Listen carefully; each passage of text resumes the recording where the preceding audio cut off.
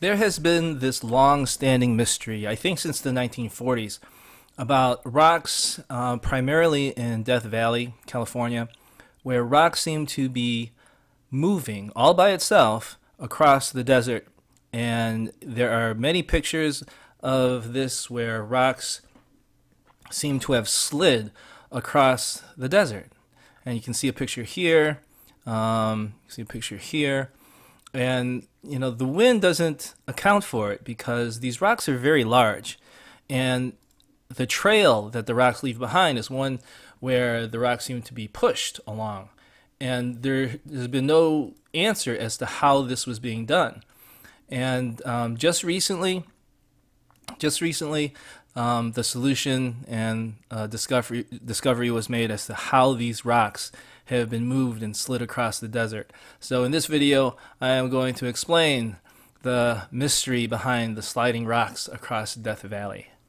So the solution to these mysterious sliding rocks is actually pretty simple, even though scientists have been baffled uh, by them for several years. First, we need to understand that Death Valley, even though it is extremely hot, um, can actually be, you know, kind of cold. You know, it's called Death Valley, so it is really, really hot. And in July, you can see um, a record high of 134 degrees um, in July.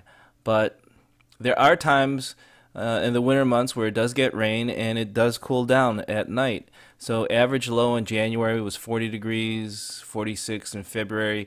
But if we look at the record low, we see 15 degrees, 21 degrees, 26 degrees and we go down over in December, uh, 21 degrees, 30 degrees in November. So there are times in Death Valley where you have both rain and very cool temperatures.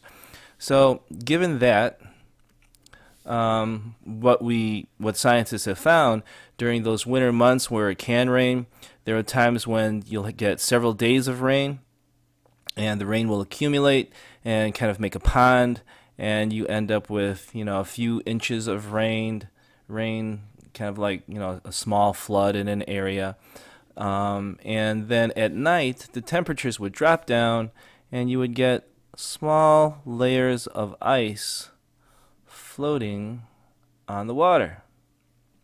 Okay. Now, these small layers of ice would float on the water, and then when you get a wind, and the wind doesn't have to be extremely strong, just enough for these layers of ice to float along the water and drift, and these layers of ice would float and push against the rock. And then the rock would eventually move. Not very fast, but it would be enough to move that rock along. And maybe it, you know, not just one section of ice, maybe a, a, another section of ice would then push the rock. If we take kind of an aerial view of the rock, um, you know, if I draw the rock over here, and this is, you know, the, the top view, we're looking at it from the sky, and then maybe here's our, you know, section of ice, and even though the the thickness of the ice might only be as thick as you know the, your window, just a centimeter, centimeter or two. Um, it could be very large, and it's pushing the rock, um, and that would be enough to, you know, get that rock moving.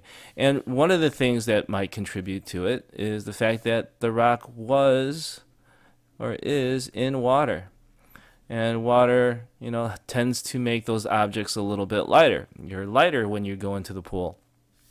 And so the rock is a little bit lighter. You have a big section of ice and then you might have another section of ice pushing and so you have the wind pushing the sections of ice and then you end up with the rock moving. So we have you know you know a few things in play. We have the water pushing it.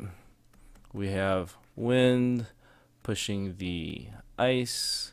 And those things combined and you end up with the sliding rocks.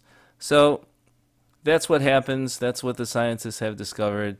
Uh, mystery solved. Thanks for watching.